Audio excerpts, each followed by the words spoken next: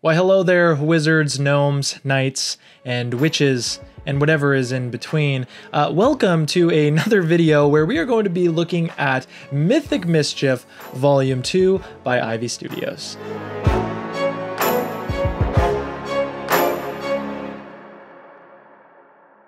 Now, full disclosure, before we go any further, this game was sent to me by IV Studios to cover and give you guys a preview.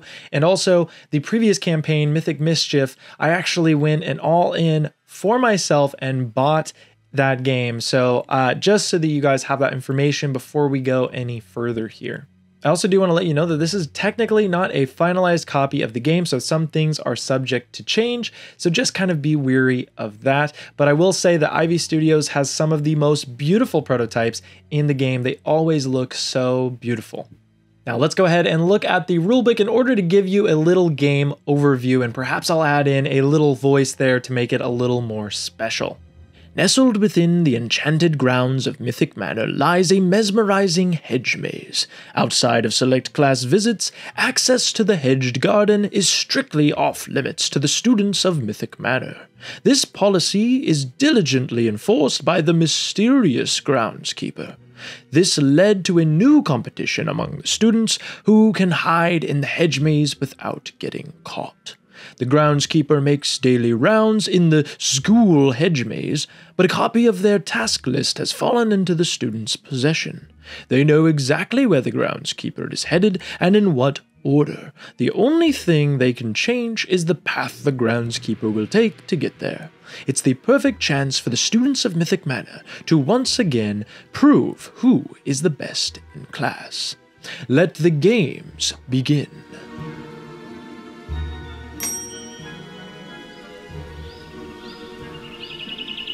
So, how does the game actually work? Well, glad you asked. Essentially, there is going to be the groundskeeper. Now, this groundskeeper, this awesome big honking figure, is going to be in the center of the hedge maze. There's going to be three points that are determined by a card, and those points are actually going to show where the groundskeeper is going to move. So you'll know exactly that this groundskeeper is going to move towards point one at four spaces a turn, then point two, then point three.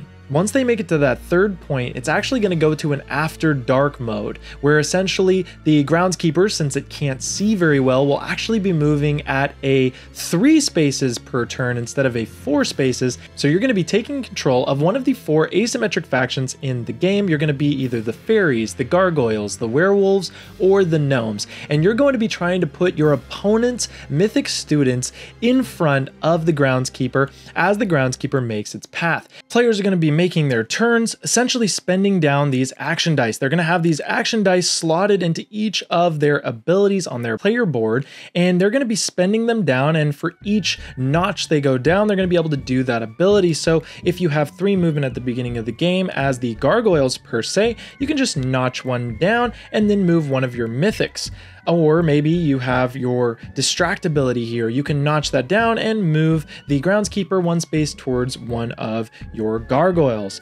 This is kind of how you actually activate actions, and you're going to be basically spending all of these on your turn, and then the groundskeeper is going to move.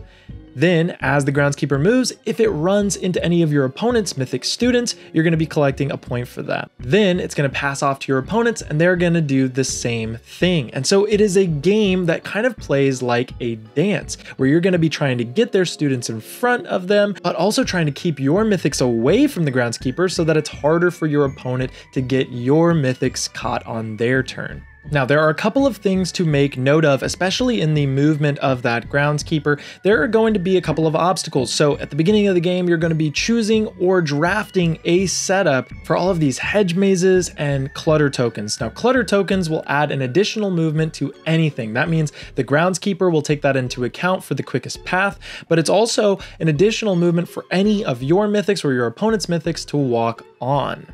And the hedge mazes, you can't move through them, but oftentimes you can change the direction or movement, and every single faction can kind of manipulate the hedges a little differently. And using both of these obstacles is going to be the main way that you're actually going to get the groundskeeper to catch your opponent's mythics. Just a couple of simple moves of these hedge mazes can actually change the path of the groundskeeper drastically. And the game is over when either one team reaches 10 mythic points or when the groundskeeper reaches Destination 3 on the After Dark card. Whoever has the most mythic points by the end of the game at that point would then take the victory.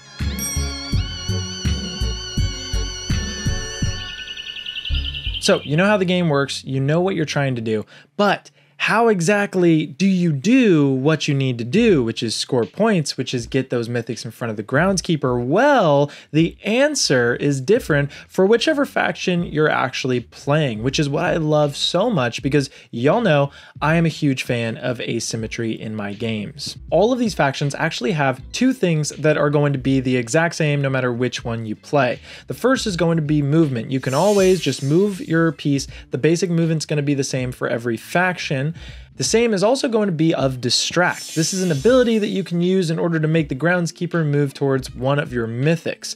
So those are going to be the same no matter which faction you choose, but the rest is all going to be asymmetric and unique to that faction. So let's talk about the Gargoyles.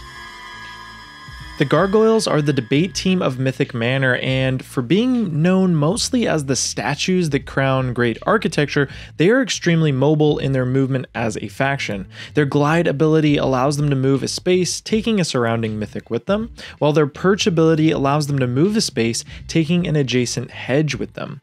However, it's not all about moving and flying for the Gargoyles, as they have a legendary ability to make a gargoyle turn to stone, making them immovable and making it impossible impossible for the groundskeeper to catch them. And once the After Dark phase takes place, their Rubble ability makes them one extra move to get past. But if the gargoyles are a little too serious for your liking, you can try the fairies. They are the class clowns, a whimsical magical bunch that have a few tricks to turn your frowns upside down. They love to make people wander aimlessly, hence their wander ability allows them to move mythics diagonal to them and then move them in orthogonal space in any direction and their Antics ability allows them to take an adjacent hedge and place it adjacent to an enemy. The legendary ability allows one of their own fairies to swap spaces with the groundskeeper. After dark, they can attach a fairy ring to an enemy and control that enemy once per turn. Basically, mind control, but you know, that's that's fine. It's all fun in games, right? The rebellious werewolves are not for the faint of heart. These rocking canines love to jam and often can be found in detention. They can fling mythics two spaces perpendicular to their own wolves, and their legendary ability actually allows one of them to fling mythics over hedges. Heave is an awesome ability that takes an adjacent hedge and moves it in a direction until it must stop. So you can make some really big sweeping hedge moves, but it can be a little hard to tame its power. And after dark, they can actually change the board's layout by shredding up an adjacent clutter token or hedge once per turn. And finally, we have my personal favorite, the gnomes. These hippie lawn loungers are one with nature and one with themselves. They have to be up close and personal in order to make things happen, which is why they have a special alternative to moving called Burrow.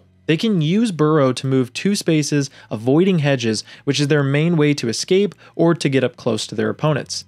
The Shifty ability allows them to move an adjacent mythic to an adjacent space to their gnome, while their illusion ability works the exact same way except with hedges. When they have exhausted their dice, their legendary ability allows them to drink a potion to reset any one of their dice on their board for the turn, allowing them to do quite a bit more and after dark, they can make some changes to the hedge maze by being able to move a destination token one space, which I have found to be so much fun. So that's just kind of a quick reference of what all of these factions currently do, and you can kind of see exactly why this game is so puzzling because you're looking at the board, you're looking at where the groundskeeper is, and you're thinking, okay, how do I get my opponent's mythics in front of this path? How do I how do I put them there this turn and how can I get that that that oh so good feeling three point turn where I catch all my opponent's mythics in one turn, which feels so dang good.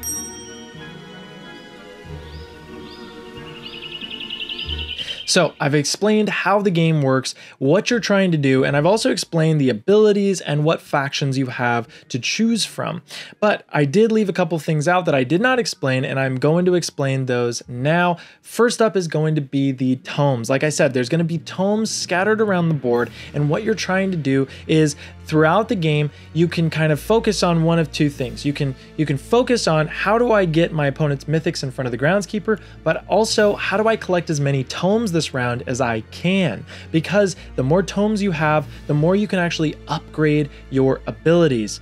You're going to have dice in the slots and it will show you how much you have per each dice. But if you put a tome in there, it basically goes to the leftmost space and pushes all those dice to the right, giving them more and more actions. Getting the tomes early game can be really good because then you can have more movement, you might get more distracts or more of your other abilities. Also, if you use your legendary ability, you take the tome out, well, you can reset that legendary ability and do it again if you choose to take one of those tomes and place it into that empty space. So the tomes are another added layer to the game's kind of strategic gameplay. Do I try to catch as many of those mythics early game, or am I just going to try to go for the tomes early game and then use my benefit of having a lot of actions to get the mythics later? But by that point, maybe the mythics are in a worse spot. So many things to think about in this game.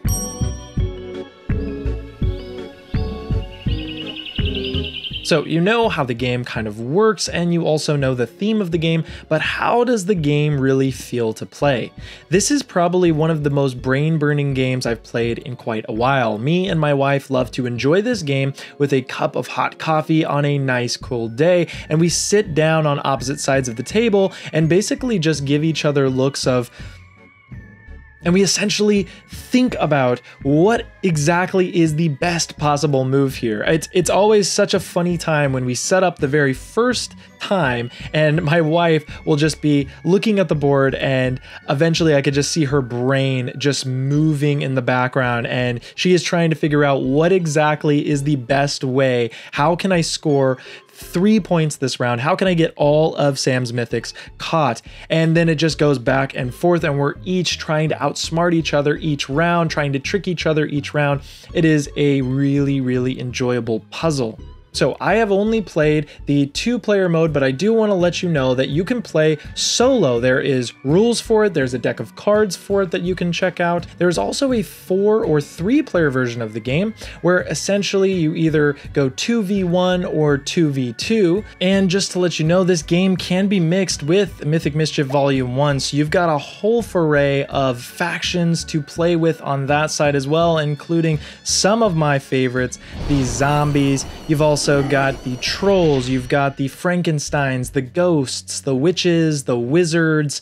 Um, I know I'm sure I'm missing another one, but just so many more asymmetric factions to play around with. But guys, that is it for Mythic Mischief Volume 2. If you are looking for a game to play where you want to just have your brain burn to the point of boiling like a hot witch cauldron uh, and it overflows every single turn and it's like you can't get the boil back from the previous round because this round is also brain burning this is the game for you right here. Uh, it is a mind bender, but an absolute blast to play. I want you guys to check this out because, like I said, those asymmetric factions, you can get better at a couple of them. I'm definitely more in line with the gnomes and werewolves of this set. Those are my two favorite factions. So, definitely check out the Kickstarter page. I'll have a link down in the description. I hope that this video brought value to you. Let us go ahead and drop the beat.